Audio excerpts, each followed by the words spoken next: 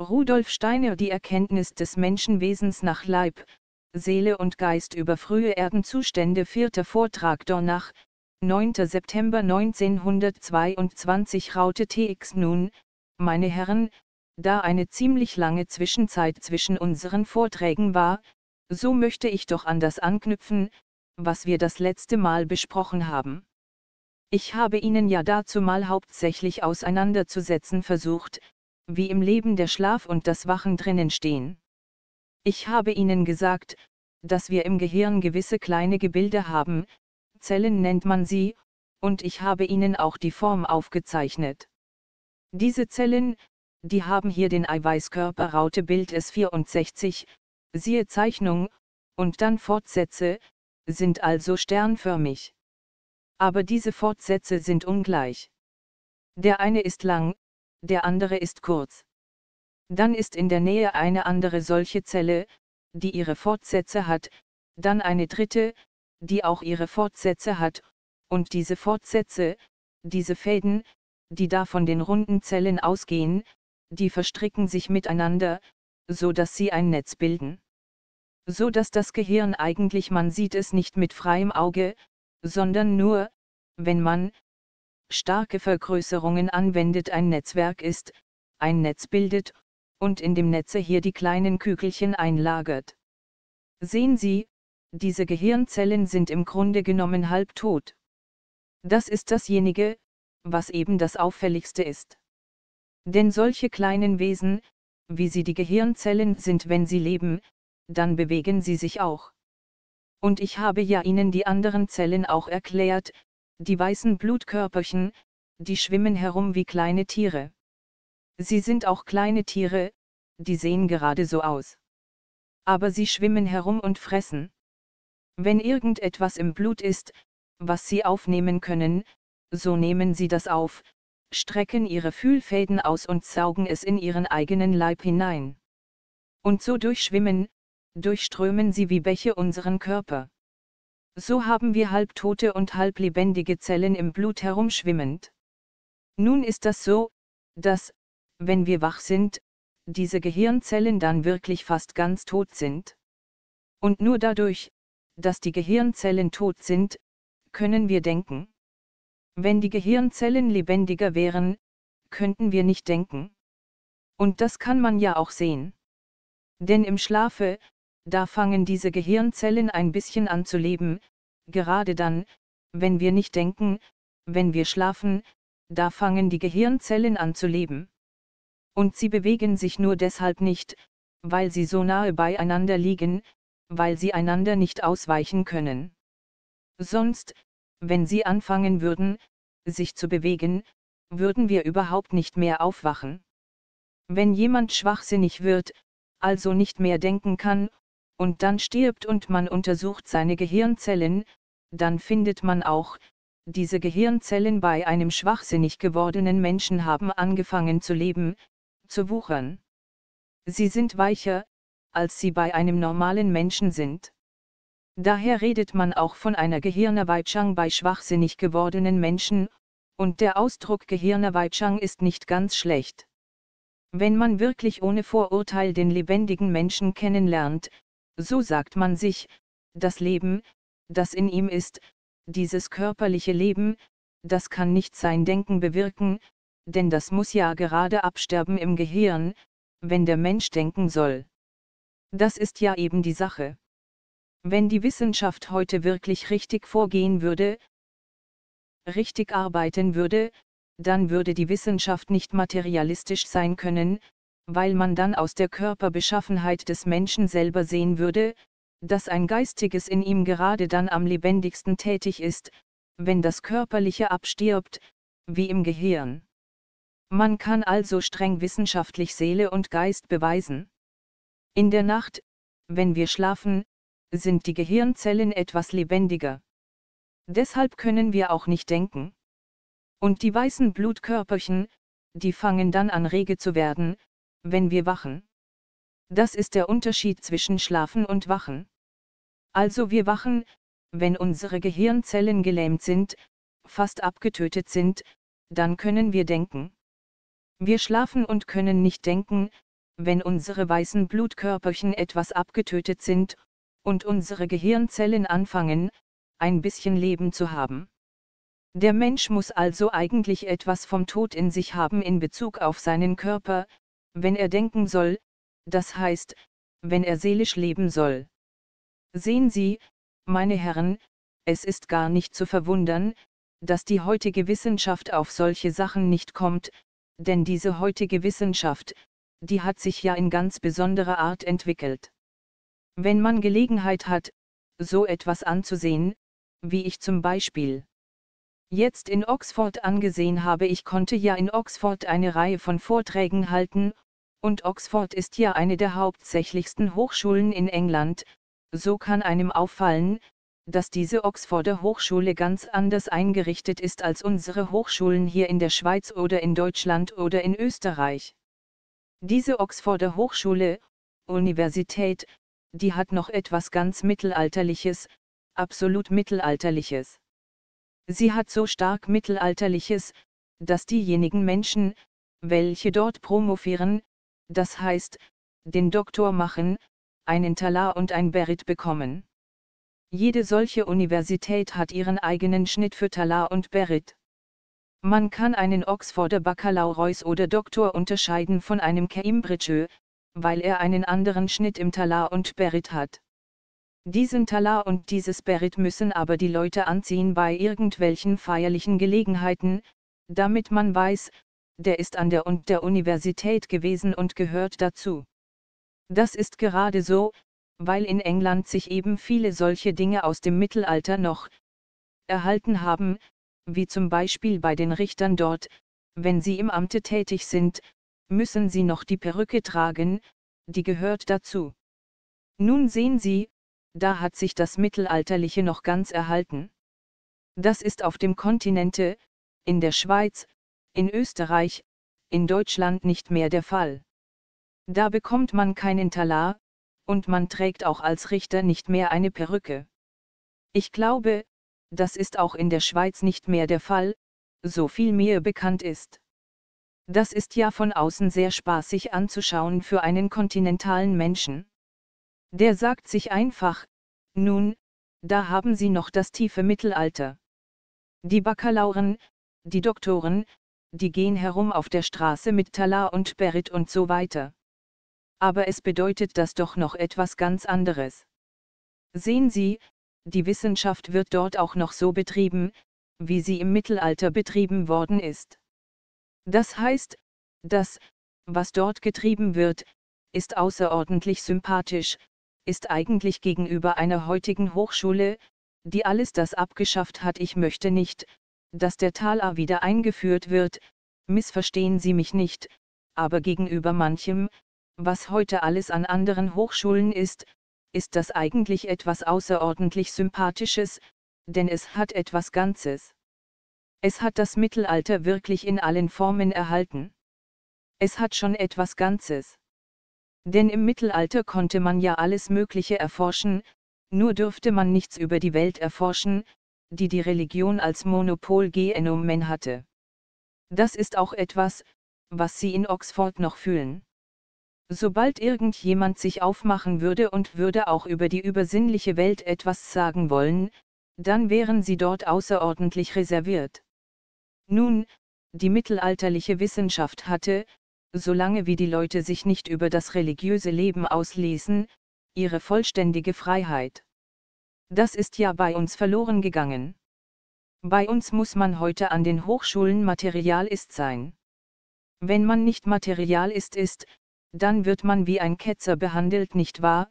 Wenn das, sagen wir, anständig wäre, die Leute zu verbrennen, so würde man sie auch heute noch verbrennen, auch von den Hochschulen aus. Das können Sie ja aus nächster Nähe sehen, wie man behandelt wird, wenn es sich darum handelt, irgendetwas Neues in die Wissensgebiete einzuführen. Die äußeren Perücken sind ja verschwunden, aber die inneren Perücken, die sind auch auf dem Kontinente durchaus noch nicht verschwunden. Es ist nun so, dass auf dem Kontinent zwar eine Wissenschaft sich entwickelt hat, aber diese Wissenschaft hat noch die anderen Gewohnheiten, und die wird deshalb materialistisch, weil sie sich nie angewöhnt hat, sich mit dem Geistigen zu befassen. Im Mittelalter dürfte man sich nicht mit dem Geistigen befassen, weil das der Religion überlassen war. In der Weise machen das die Leute heute noch weiter.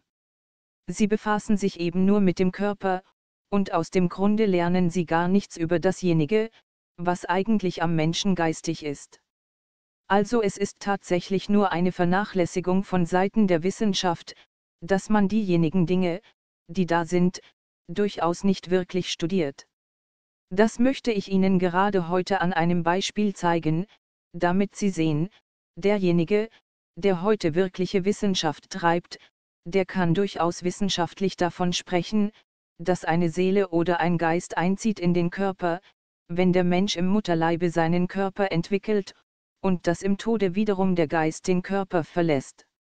Das ist heute wissenschaftlich zu beweisen, aber man muss wirklich die Wissenschaft dann kennen.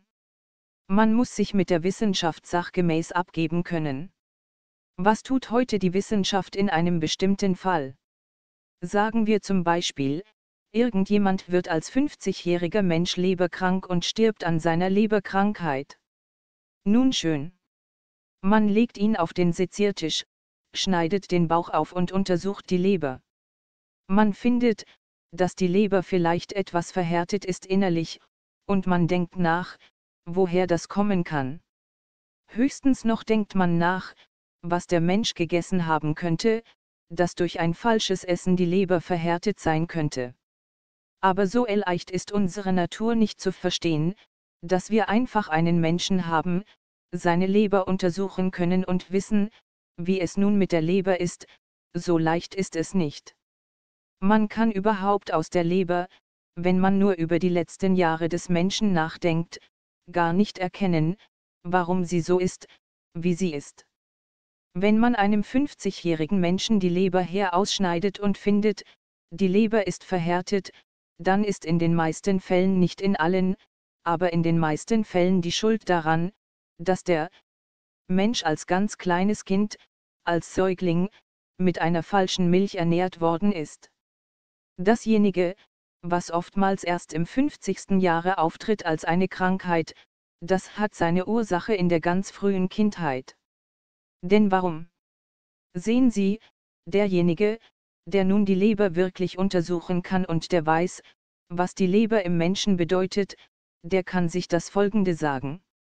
Er weiß, dass die Leber bei einem ganz kleinen Kinde noch frisch ist, sie ist sogar noch in Entwicklung. Nun ist die Leber ein menschliches Glied, das ganz anders ist als alle anderen menschlichen Glieder. Die Leber ist etwas ganz Besonderes. Das kann man auch äußerlich sehen. Sehen Sie, wenn Sie irgendein Organ des Menschen nehmen, Herz oder Lunge oder was Sie wollen, so kann man sagen, dieses Organ gehört eben zum ganzen menschlichen Leibe. Nehmen Sie irgendein Organ, sagen wir zum Beispiel den rechten Lungenflügel, so können Sie sagen, in diesen rechten Lungenflügel, da gehen rote Blutadern hinein. Sie wissen, was das bedeutet und blaue Blutadern gehen wiederum heraus. Die roten Blutadern, die hineingehen, die haben Sauerstoff, den sehen Sie in den Körper übergehen und die blauen Blutadern, die haben das Verbrauchte, die haben Kohlensäure, die weg muss, AUS geatmet werden muss, siehe Zeichnung. Raute Bild S 69 Nun, sehen Sie, jedes Organ Magen, Herz ist so eingerichtet, dass der Mensch in diese Organe rotes Blut bekommt und blaues Blut herausgeht. Bei der Leber ist es anders. Zwar zuerst schaut es im Wesentlichen auch bei der Leber so aus. Wenn Sie da die Leber haben, die Leber liegt unter dem Zwerchfell auf der rechten Seite des menschlichen Körpers, da haben Sie auch so die Sache zunächst, dass rote Blutadern hineingehen und blaue Blutadern herausgehen. Wenn das der Fall wäre, wäre eben die Leber ein Organ wie die anderen menschlichen Organe. Raute Bild es 70 aber außerdem geht noch eine große Ader, welche blaues Blut, Kohlensäure enthält, extra in die Leber hinein, was bei keinem anderen Organ der Fall ist. Es geht also eine blaue Ader, die sogenannte Pfortader in die Leber hinein, eine mächtige blaue Ader. Die verzweigt sich überall da drinnen und versorgt die Leber mit blauem Blut, also für alle anderen Organprozesse unbrauchbar gewordenem Blut, das sonst gereinigt wird, indem man die Kohlensäure ausatmet. In die Leber schicken wir fortwährend Kohlensäure herein. Die Leber braucht gerade, was die anderen Organe fortschmeißen müssen. Woher kommt das? Das kommt daher, dass die Leber eine Art inneres Auge ist. Die Leber ist wirklich eine Art inneres Auge. Die Leber verspürt besonders, wenn sie frisch ist, beim Kinde den Geschmack, aber auch die Güte der Milch, die das Kind an der Mutterbrust saugt. Und viel später noch nimmt die Leber alles wahr, was an Nahrungsmitteln in dem menschlichen Körper sich auslebt. Die Leber ist ein Wahrnehmungsorgan, ein Auge, möchte man sagen, ich könnte auch sagen, ein Tastorgan, ein Gefühlsorgan. Die Leber nimmt alles das wahr. Ein anderes Organ am Menschen, das wahrnimmt, ist das Auge. Aber das Auge nimmt ja deshalb gerade so stark die Außenwelt wahr, weil es fast extra da drinnen sitzt im Kopfe. Es ist ja ganz in dieser Knochenhöhle drinnen, aber es ist fast ein abgesondertes Organ. Man kann es herausnehmen, und es liegt ganz extra, abgesondert vom Körper, da drinnen in dieser Knochenhöhle. Die anderen Sinne führen uns nicht so in die Außenwelt wie das Auge. Wenn Sie hören, so erleben Sie innerlich noch. Die Musik ist daher innerlicher als das Sehen. Das Auge, das ist so eingerichtet, damit es eben nicht so sehr dem menschlichen Leibe angehört, sondern der Außenwelt angehört. Dadurch aber, dass in die Leber hineingeht blaues Blut, das sonst die Kohlensäure rausschmeißt in die Außenwelt und wieder rot gemacht wird, dadurch ist die Leber fast so abgesondert vom anderen menschlichen Leibe wie das Auge. Es ist also die Leber ein Sinnesorgan. Das Auge nimmt Farben wahr. Die Leber nimmt wahr, ob der Sauerkohl, den ich esse, dem Körper nützlich oder schädlich ist, ob die Milch, die ich trinke, dem Körper nützlich oder schädlich ist. Die Leber nimmt das fein wahr, und die Leber gibt die Galle ab, und die Galle wird abgegeben, das ist wirklich so wie das Auge die Tränen abgibt. Wenn der Mensch traurig wird, fängt er an zu weinen. Die Tränen kommen nicht umsonst aus dem Auge. Mit dem Wahrnehmen, mit dem Bemerken von den Dingen hängt das Traurigwerden zusammen. Und ebenso hängt das Absondern der Galle damit zusammen, dass die Leber wahrnimmt, ob irgendetwas dem Körper schädlich oder nützlich ist. Sie sondert mehr oder weniger Galle ab, je nachdem wie schädlich es ist, was der Mensch bekommt. Also wir haben in der Leber ein Wahrnehmungsorgan. Nun denken Sie sich, wenn das Kind ungesunde Milch bekommt, dann ärgert sich die Leber fortwährend. Und wenn der Mensch doch so gesund ist, dass er dann nicht gleich die Gelbsucht kriegt durch zu starke Gallenabsonderung, so ist ein fortwährendes Drängen da nach Gallenabsonderung beim Kind. Und dann wird die Leber schon beim Kind krank. Der Mensch kann viel aushalten. Er kann 40, 45 Jahre diese kranke Leber, die er sich als Säugling erworben hat, mit sich herumschleppen, aber zuletzt, im 50. Jahre, kommt es zum Ausbruch, die Leber ist verhärtet. So also ist es wirklich nicht, dass man bloß den Menschen, der 50 Jahre alt ist, auf den Seziertisch legt, ihm den Bauch aufschneidet, die Organe herausnimmt, sie anguckt und etwas darüber sagt. Da kann man eben nichts sagen. Der Mensch ist nicht bloß dieses Augenblickswesen, sondern der Mensch ist ein Wesen, das sich eben durch eine bestimmte Anzahl von Jahrzehnten entwickelt. Und was manchmal 50 Jahre zurückliegt, das kommt nach 50 Jahren zum Ausdruck. Da muss man aber den Menschen vollständig kennen, wenn man das verstehen will. Nun nehme ich an, Sie seien jetzt einmal Materialisten. Aber wenn Sie Materialisten sind, dann sagen Sie sich das folgende. Ich habe Ihnen gesagt, die Leber ist ein Organ, dessen Krankheit beim Säugling verursacht sein kann und im 50. Lebensjahre zum Ausbruch kommen kann. Ja, meine Herren, wie ist die Geschichte aber mit dem Menschen? Nehmen wir einmal ganz schematisch an, der Mensch ist ein Wesen aus Fleisch, aus Blut, aus Muskeln und so weiter bestehend. Er hat Blutgefäße in sich, er hat Adern in sich, Nerven, das alles sind Stoffe natürlich, richtige Stoffe. Aber glauben Sie, dass die Stoffe, die zum Beispiel in der Leber sind beim kleinen Kinde, das gesäugt wird, noch im 50. Jahre vorhanden sind? Nein, das ist nicht der Fall. Denn, nehmen Sie nur das Allereinfachste, Sie schneiden sich die Fingernägel. Wenn Sie sich die Nägel nicht schneiden, so wachsen sie wie die Habichtskrallen fort. Da schneiden sie ja fortwährend ein Stückchen Stoff von sich ab. Und wenn sie sich die Haare schneiden, schneiden sie auch ein Stückchen Stoff von sich ab. Aber sie werden schon manchmal bemerkt haben, dass das nicht nur beim Haare- und Fingernägelschneiden stattfindet, dass Stoff weggeht, sondern wenn sie sich manchmal kratzen und längere Zeit den Kopf nicht gewaschen haben, dann kratzen sie Schuppen mit ab. Das sind Stückchen Haut. Und wenn sie sich nicht ganz waschen würden, wenn nicht der Schweiß kleine Schuppen vom Körper fortschwemmen würde, könnten sie einen ganz geschuppten Körper kriegen. Das heißt, an der Außenseite des Körpers, da fällt fortwährend der Stoff weg. Nun denken Sie sich einmal, Sie schneiden sich da ein Stück Fingernagel weg. Das wächst wieder nach. Das kommt von innen nach. Ja, so ist es nämlich mit dem ganzen menschlichen Körper. Dasjenige, was am allerinnersten ist, das ist nach ungefähr sieben Jahren an der Außenfläche, und wir können es als Schuppen wegtun. Sonst macht das nur die Natur, und wir bemerken nicht, wie wir die feinen Schuppen immer loskriegen. Der Stoff nämlich, die Materie des Menschen, die geht immer von innen nach außen und schuppt sich äußerlich ab. Dasjenige, was Sie heute da ganz drinnen haben, das wird nach sieben Jahren außen sein und sich ganz abgeschuppt haben, und dasjenige, was Sie dann in sich drinnen haben, das ist neu gebildet, ganz neu gebildet. Je nach sieben Jahren werden nämlich die weichen Teile des menschlichen Stoffes neu gebildet. Wenn man ein kleines Kind ist, so gilt das sogar noch für gewisse äußere Knochenorgane. Daher haben wir die Milchzähne nur so ungefähr bis zum siebenten Jahre, dann werden sie abgestoßen und neue Zähne bilden sich aus dem Inneren heraus.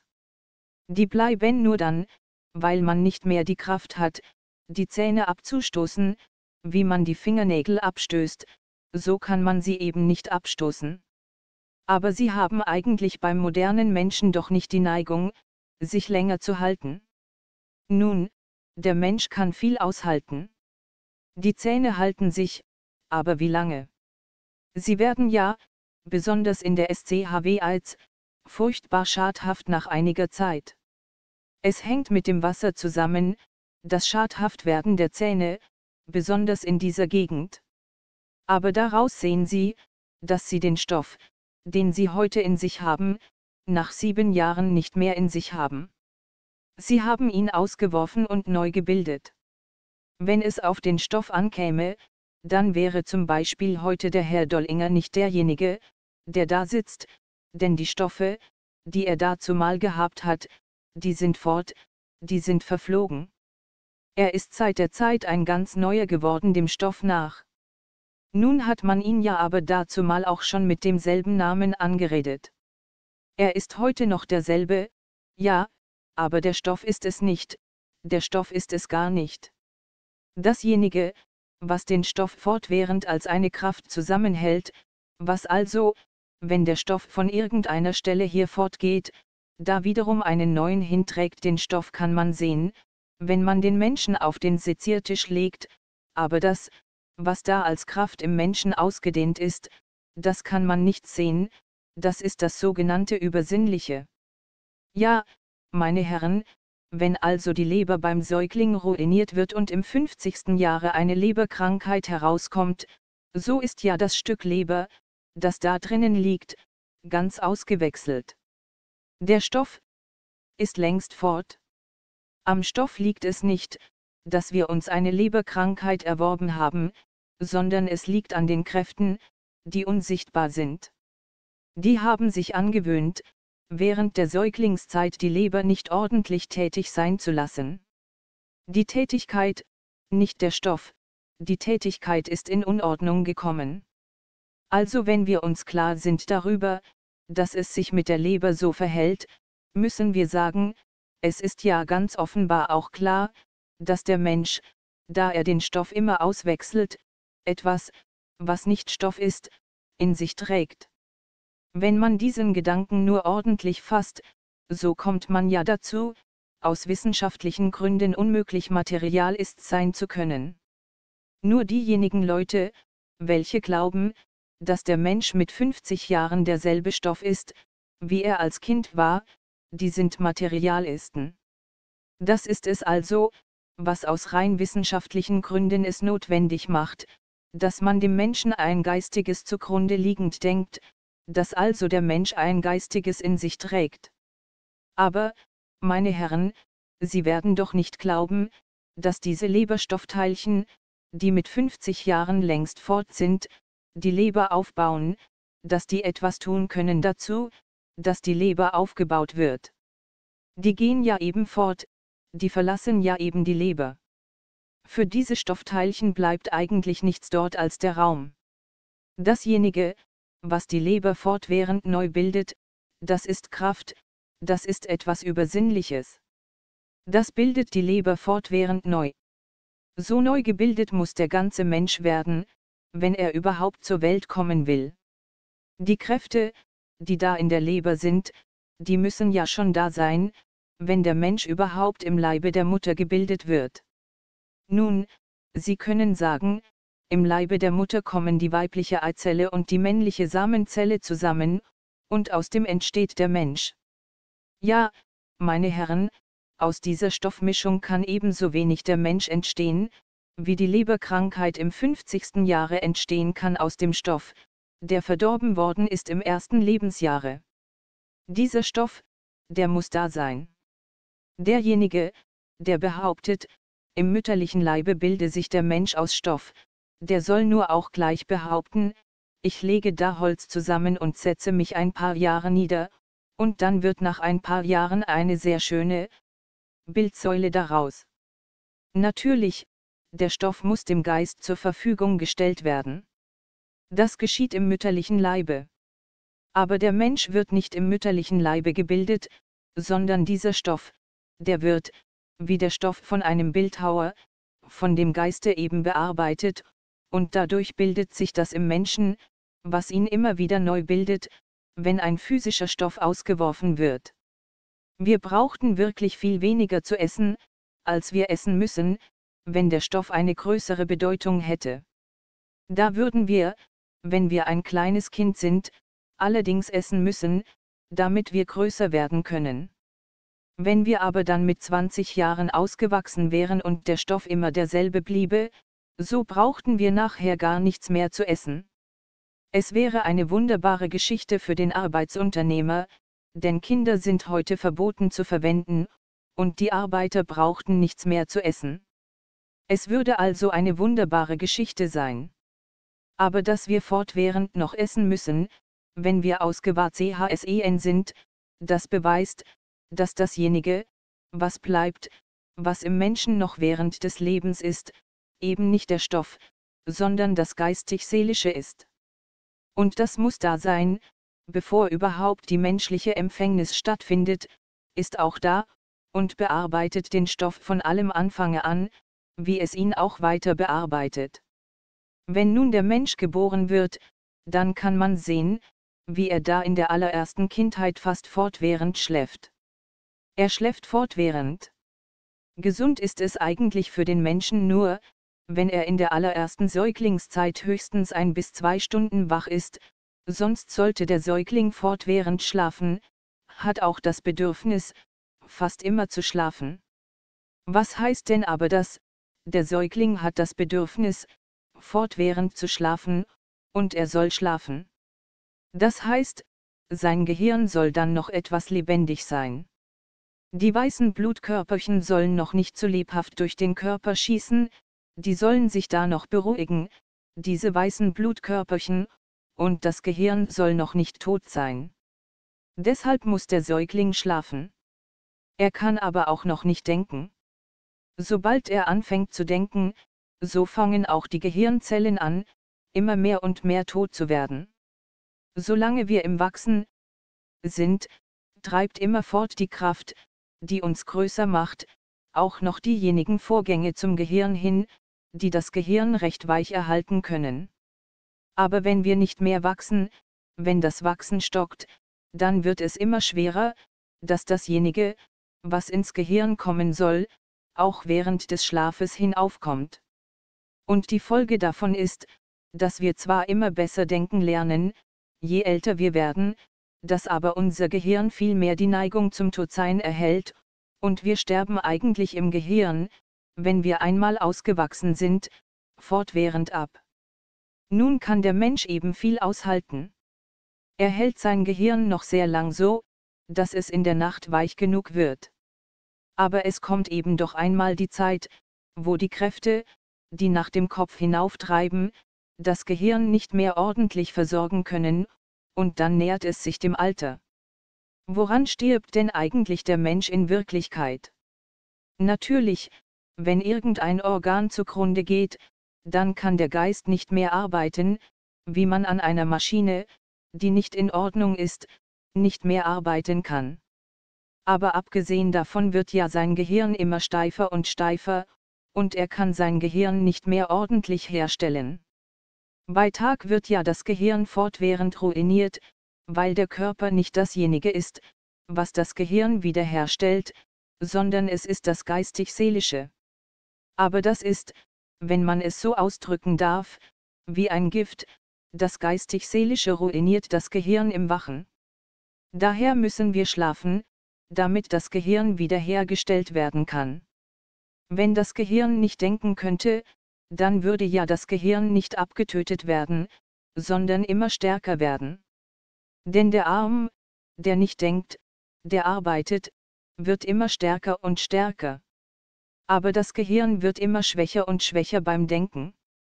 Das Gehirn ist nicht ein solches Organ, das durch sein Leben denkt, sondern dadurch, dass es abstirbt, denkt es, und dadurch wird der Körper für den Menschen einmal unbrauchbar.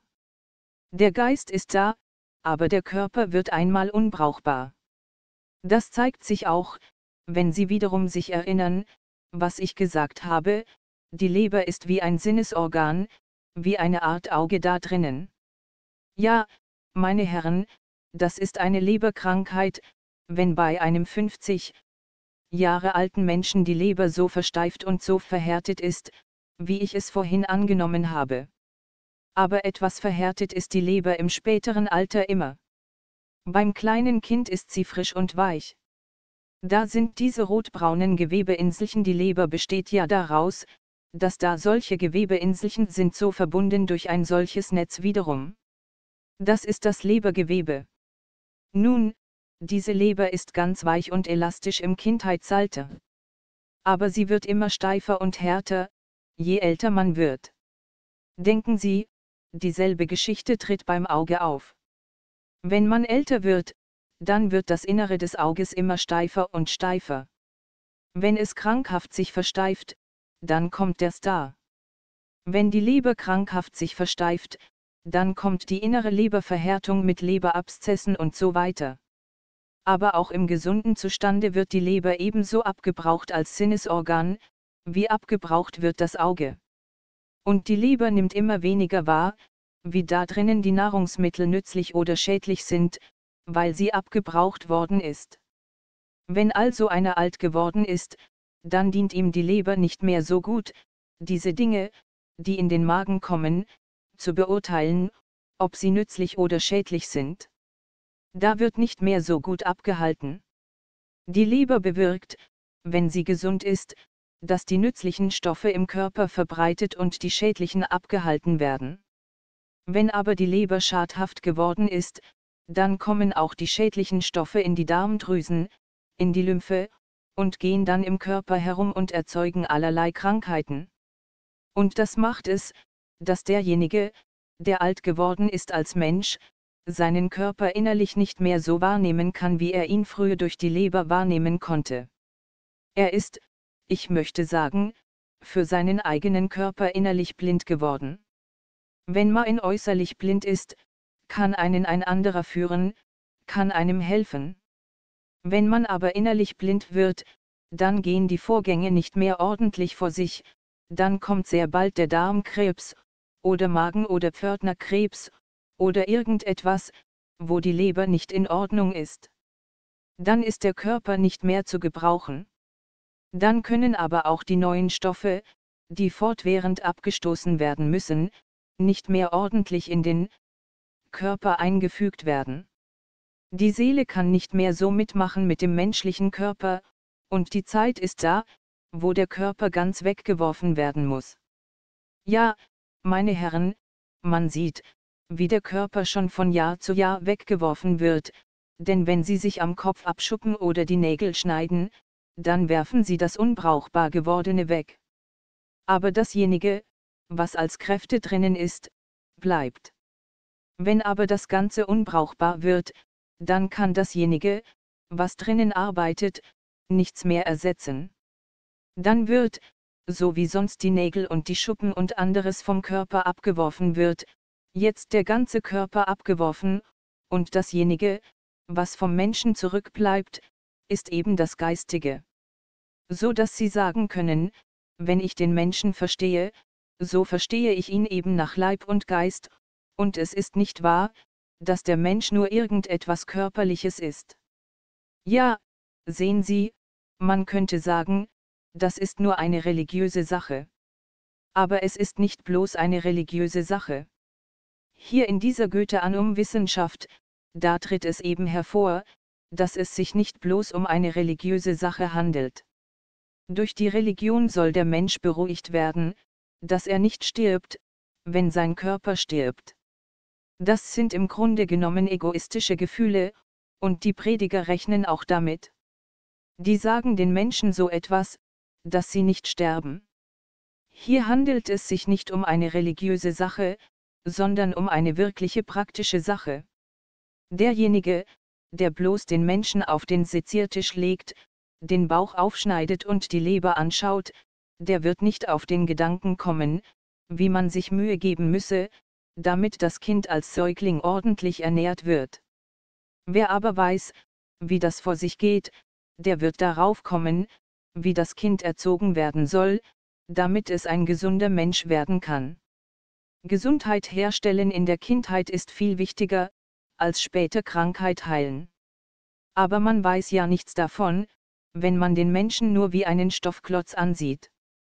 Nun, an diesem Beispiel ist es leicht ersichtlich, was ich da gesagt habe. Aber nehmen Sie ein anderes Beispiel.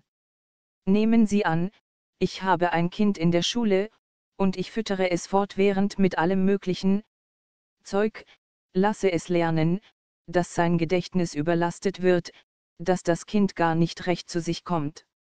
Ja, meine Herren, da strengt man den Geist an in Wirklichkeit.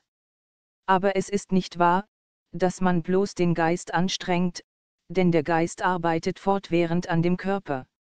Und wenn ich das Kind falsch unterrichte und falsch erziehe, auch nur, sagen wir, dem Gedächtnis nach, dann verhärte ich bei ihm ganz bestimmte Organe, weil dasjenige, was im Gehirn verwendet wird, den anderen Organen verloren geht.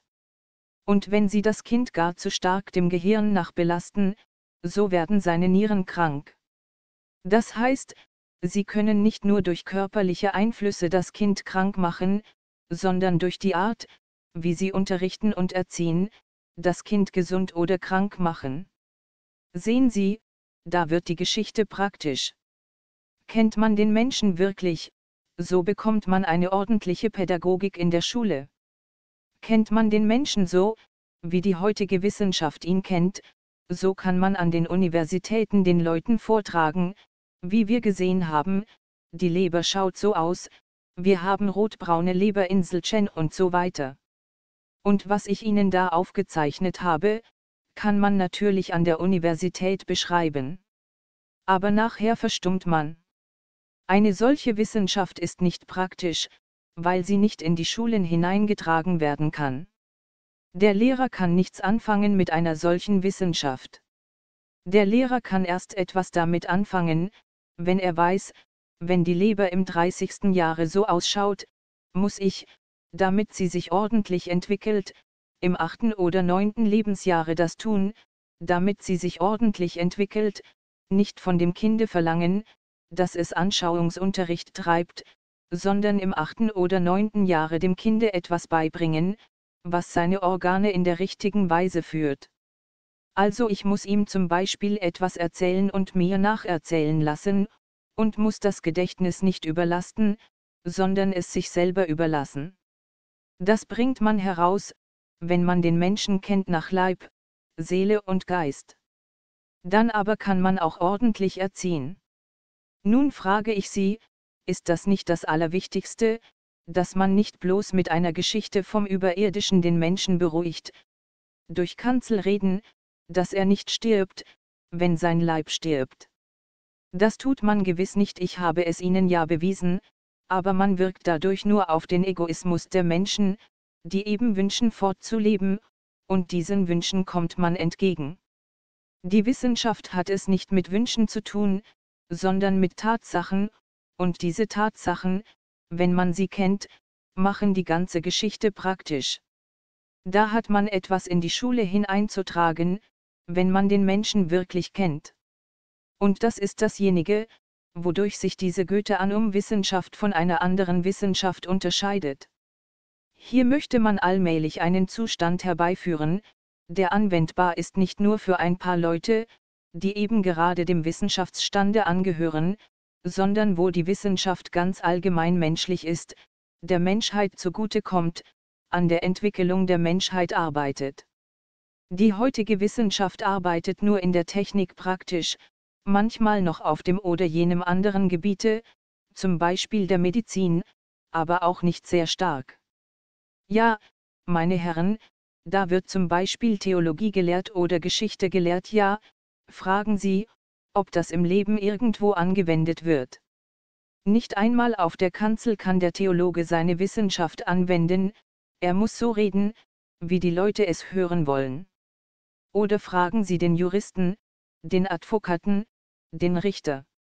Der lernt seine Sachen, damit er sie eingepaukt hat und nachher im Examen die Sachen weiß. Aber nachher vergisst er sie so schnell wie möglich, denn draußen richtet er sich nach ganz anderen Gesetzen. Es wird nichts angewendet auf den lebendigen Menschen. Kurz, wir haben eine Wissenschaft, die gar nicht mehr lebenspraktisch ist. Und das ist das Schlimme. Daraus können Sie auch sehen, dass wirklich sich Klassen von Menschen bilden. Im Leben ist es so, dass, was im Leben steht, auch angewendet werden muss. Wenn also eine Wissenschaft da ist, die nicht angewendet werden kann, eine unnützliche Wissenschaft da ist, dann sind die Leute, die diese Wissenschaft treiben, auch in einem gewissen Sinne unnützlich, und dann entsteht eine unnützliche Menschenklasse. Da haben Sie die Klassenunterschiede. Das habe ich in meinen Punkten versucht darzustellen, dass eigentlich mit dem geistigen Leben auch die Klassenunterschiede zusammenhängen. Aber wenn man auf die Wahrheit hindeutet, wird man ja von allen Seiten als Pantast erklärt. Aber Sie können sich hier überzeugen, dass es sich nicht um Fantastisches handelt, sondern um ein wirkliches, tatsächliches Erkennen und um ein praktisch Machen der Wissenschaft, die wirklich eingreifen kann ins Leben. Dann beruhigen die Menschen sich auch über den Tod. Es ist ja natürlich so manches für sie schwierig, gerade aus dem Grunde, weil die Schulerziehung nicht so ist, wie sie sein sollte. Aber sie werden schon allmählich die Dinge verstehen. Und sie können sicher sein, so recht verstehen es auch die anderen nicht. Wenn man so mit der heutigen Wissenschaft unter all diese mittelalterlichen Verhältnisse kommt, so sieht man, was das für eine Wissenschaft ist. Wenn ich die Wissenschaft des Goethe-Anums in Oxford vortrage, so unterscheidet sich das ganz beträchtlich von dem, was sonst in Oxford vorgetragen wird. Das ist eben ein ganz anderer Zug und wird erst allmählich verstanden werden. Und so möchte ich, dass Sie ein Verständnis bekommen, wie schwer es ist, damit durchzudringen. Es ist schwer, aber es wird werden und muss werden, denn sonst geht einfach die Menschheit zugrunde.